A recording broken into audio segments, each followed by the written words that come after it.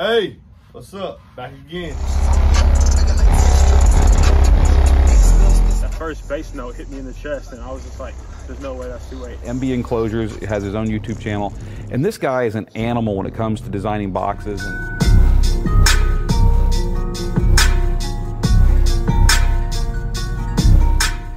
Hey, welcome to the channel. I'm here with the MBE Gladiator box.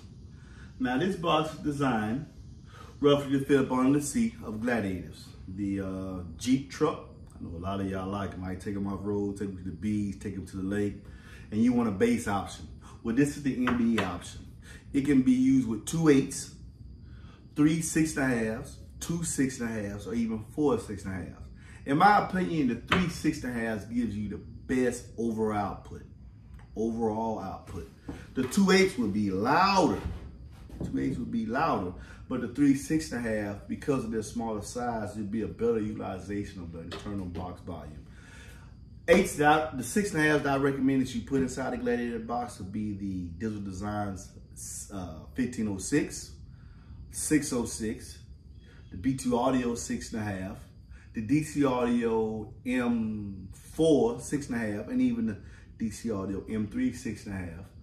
Uh, who else can I use? Kicker has uh, six and a half inch drivers as well.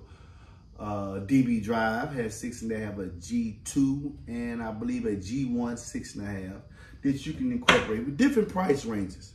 All those brands, I sell these six and a half inch drivers, as well as all the eight inch drivers that we can incorporate in this under seat box for Jeep Gladiators.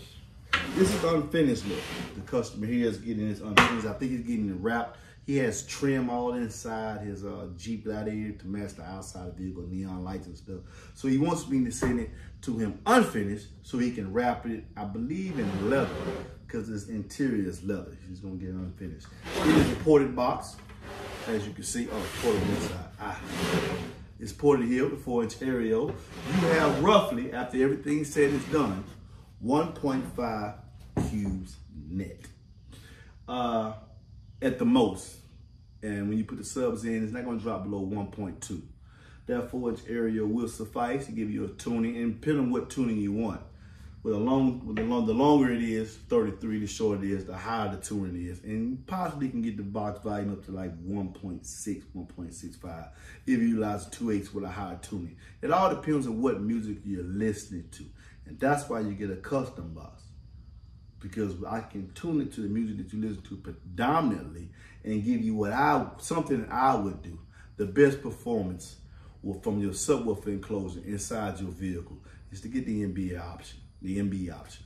The number is 404-694 uh, 404-694-4818. And as always, please listen responsibly.